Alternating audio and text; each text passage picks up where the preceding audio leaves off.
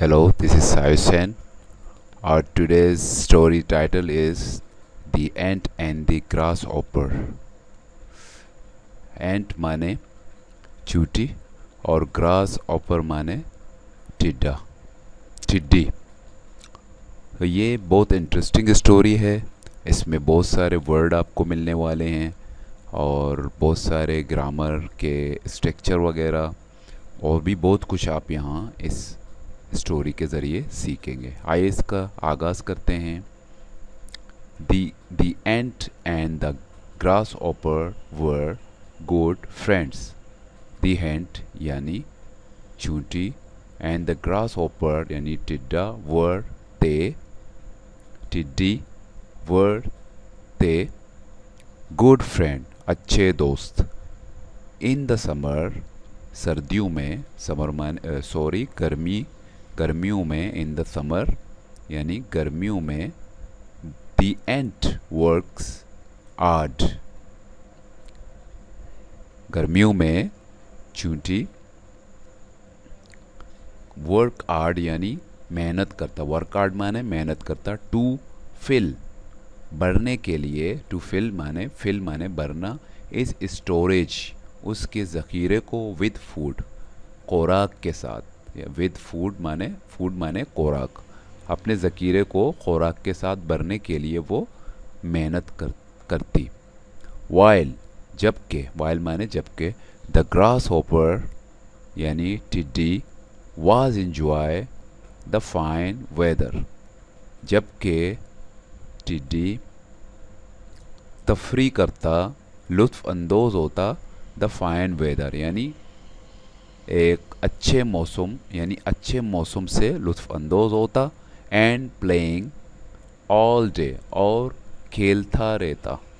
पूरा दिन all day माने पूरा दिन प्लेइंग माने खेलता रहता ऑल डे माने पूरा दिन। वैन विंटर कैम जब सर्दी आई, यानी मौसम सरमा आया the and the ant was laying cosily यानी चूटी पड़ पड़ पड़ी रहती कोजली कोजली का मतलब है यानी बेफिक्री के साथ आराम सुकून के साथ इन इज़ होम अपने घर में इन इज़ होम अपने घर में सराउंडेड बाय द फ़ूड यानी चारों ओर उसके कोराक होते यानी सराउंडेड माने चारों तरफ़ सराउंडेड बाय इस फ़ूड यानी उसके चारों तरफ़ कोराक होते ई स्टोर्ड उसने जो ज़ख़ीरा किए थे ड्यूरिंग द समर ड्यूरिंग मारे दौरान द समर यानी जो गर्मियों के दौरान गर समर माने गर्मी गर्मियों के दौरान जो उसने ज़ख़ीरा किए थे वाइल द ग्रास ऑपर जबकि ग्रास ऑपर यानी जबकि टिड्डी वाज इन इज़ होम वो अपने घर में थी। Hungrily hungry and freezing hungry माने भूख, भूखा एंड फ्रीजिंग माने जम, जमा हुआ होना, जमना, यानी वो सर, वो भूखी भी थी और उसे सर्दी भी लग रही थी। सर्दी की वजह से वो जमी हुई थी। ही आस्क्ड ही आस्क्ड यानी अब टिड्डी, ही माने यहाँ, टिड्डी। टिड्डी ने ask the ant for food ask for का मतलब है यानी कि मांगना। ही आज the ant for the food यानी उसने the the ant for the food यानी उसने चूंटी से खुराक मांगी। उसने चूंटी से खुराक मांगी and the the ant give them some. और चूंटी ने उसे कुछ दिया।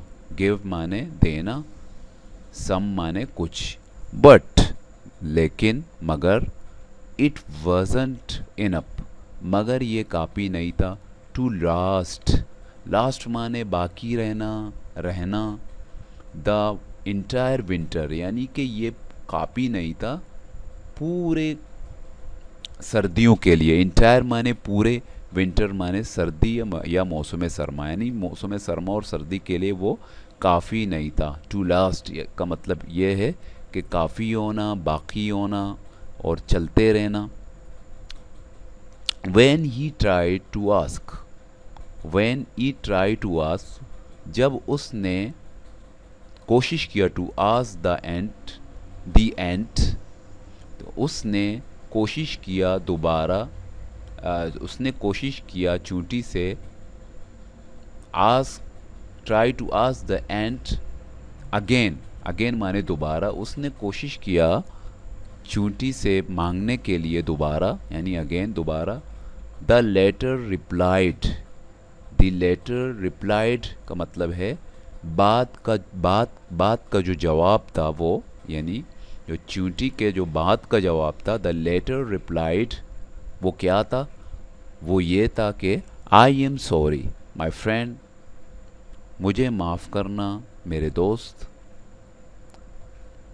बट माई फ़ूड मगर मेरा खुराक इज़ जस्ट इनफ काफ़ी है फॉर माई फैमिली मेरे ख़ानदान के लिए to last until the end of winter बाकी रहे जब तक के सर्दी है। यानी कि उसने कहा कि मेरे मेरे मेरे ही ख़ानदान के लिए जितने मेरे पास खुराक हैं, वो मेरे ही ख़ानदान के लिए काफ़ी हैं, यानी सर्दी के लिए। If I give you more अगर मैं तुम्हें इफ़ माने अगर आई गिव यू मोर मोर माने मज़ीद। We too will starve we too will starve यानी हम हम भी जो है वो भूखे हो जाएँगे। स्टेव माने भूख, भूखा होना पाका कशी करना या भूखा होना। वी टू विल स्टेव यानी हम भी भूखे हो जाएँगे। We had the entire summer we had the entire summer हमारे पास पूरी यानी गर्मी थी to prepare for the winter तैयारी टू तैयारी करने के लिए प्रिपेयर माने तैयारी फॉर द विंटर सर्दी के लिए बट मगर you chose to play instead मगर तुमने इसके बजाय खेलना खेलना, खेलने को तरजीह दिया, खेलने को का इंतखब किया. चूज़ माने इंतखब करना. तो ये एक स्टोरी था। इसका moral moral of this story यानी इस, इसकी इखलाकी जो सबक है वो ये है कि विंटर यानी सर्दी इन दिस स्टोरी इस स्टोरी में रिप्रेजेंट नुमाइंदगी कर रहा है आर टाइम एक वक्त की इन आवर लाइफ हमारे ज़िंदगी के एक वक्त की नुमाइंदगी कर रहा है where food and resource are scarce यानी कि जहाँ खुराक और वसाइल की कमी है।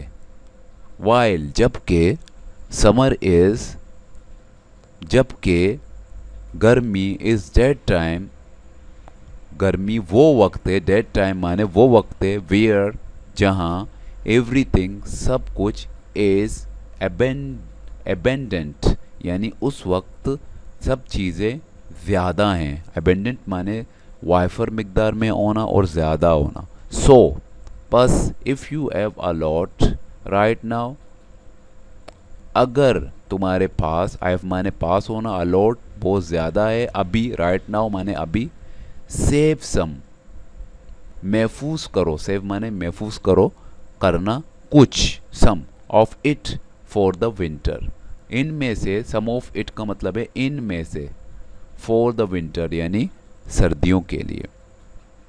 तो ये एक मॉरल यानी कि इसका मॉरल ये था स्टोरी का मकसद ये था कि हमने जो है वो कुछ काना है कुछ बचाना है अपने आ, आ, अपने जो है वो ऐसे वक्त के लिए जब हमें ज़रूरत पड़े।